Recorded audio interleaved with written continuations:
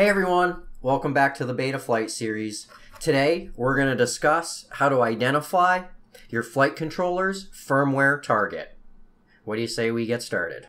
Okay, so this is a topic that gets its own video. And we've talked about this a little bit in the past, how to go into the CLI and enter the version command and see all the yada yada. We'll get a little bit more into that. But this is important this is a step that if you make a mistake and you flash the wrong firmware target to your board, you can have major problems. Not only can the flight controller not function properly, but it can also create other issues trying to reflash the board. Now, ultimately, it's software and it can be fixed, but it can be difficult to fix and these videos are to hopefully help you avoid some of that frustration. So let's get over to the computer and look at how to identify your flight controller's target. Connect your board up and then make sure you get yourself connected in Betaflight. You should be a pro at this by now. Uh, so now that my board's connected up, again, we're going to go to our buddy here, the CLI tab. And this command is pretty easy. We're just simply going to type in version Remember this one? We've talked about this a whole bunch of times in the past. This is something that you should be relatively familiar with. Um, and what I get back is just this single line. And there's a few things in here that can be very important. One of which is it's always going to show you what version of Betaflight you currently have installed on that board. So the example is this particular Omnibus board has Betaflight version 3.3.3, and that can be helpful depending on your configurator version or other CLI commands. Uh, it's good to know, and this is an easy place to figure this out. But that's not really why we're here today. What we want to look at is the beginning of this line right after the Betaflight tag here. This is going to tell you what target your flight controller needs when you're installing your Betaflight firmware. And in this case, this is a standard omnibus board, and it's also important to pay attention to the spelling here. You could export this, save it to file, uh, to keep it as a reference, write this down, make a note, but this is really what's important, and this is going to tell you what Betaflight target version ultimately ends up going into the flight controller. And this is what I'm putting emphasis on here. And I have a couple other examples that I want to show you as well so we can see a little bit of difference with this. So this is a standard omnibus. This is exactly what I would expect to find. Um, and again, right after my Betaflight tag, this is the flight controller target. All right, I'm to bounce out of this one and let's hook up another flight controller. Okay, I have now connected an SP Racing F3 flight controller.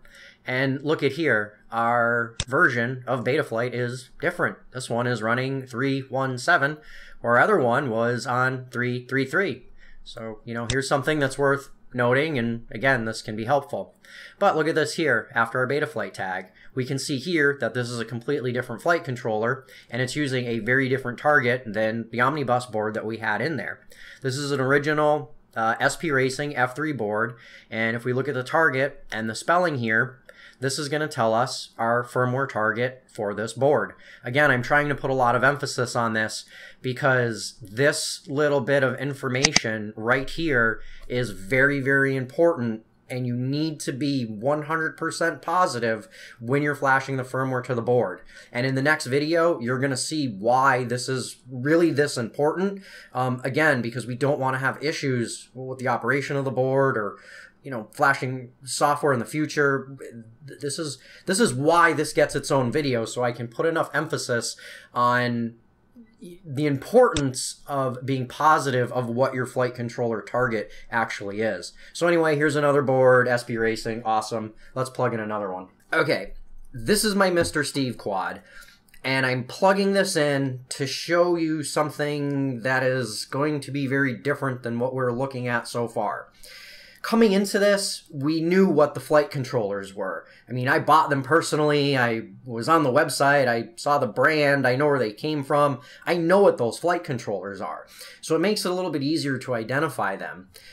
Well, this one's a little bit different because in this quad, I have the um, the DYS uh, F4 board, which is an awesome flying board, by the way. Um, but let's go to the CLI and you'll see what I'm talking about. Okay, so the 350 here is because this quad is running Butterflight. Um, you can still do CLI functionality if you're running alternate firmwares, blah. We're not getting into that. That's not important right now. So the pretend you didn't see this. Um, but you know, let's take a look right here. Well, this is Omnibus F4, but the flight controller is a DYS this math doesn't add up. It's actually because a lot of manufacturers will use the same Betaflight targets for a lot of different reasons, one of which is to make things easier so they don't have to write a target specifically for that flight controller. And you'll see some unique flight controllers that are going to have to have their own targets. Uh, some that come to mind are like the Helio Spring because that has two processors in it. Um, the NewBeeDrone, uh, BeeBrain. Uh, as far as the micro flight controllers go, that's very different. So that one has its own specific target. Um, but again, the reason why I plugged this quad in is because I wanted to show you that while different flight controllers can share the same firmware target, um, and again, this is what's important is recognizing this line here as being your flight controller. This is the Betaflight software, the version we need to get in there. That's what I got for you guys today. Uh, in a nutshell, really just that one single command in the CLI uh, is going to give you some very useful information. Uh, it helps us identify our flight controller, uh, specifically the firmware target, which is actually probably more important at this stage than knowing the actual flight controller itself. Uh, it also shows us our current running version of software, uh, and there's a few other minor details in there that, well, we really didn't get into them because we didn't need to. But that's it for today. Thanks for watching, and I'll catch you in the next one.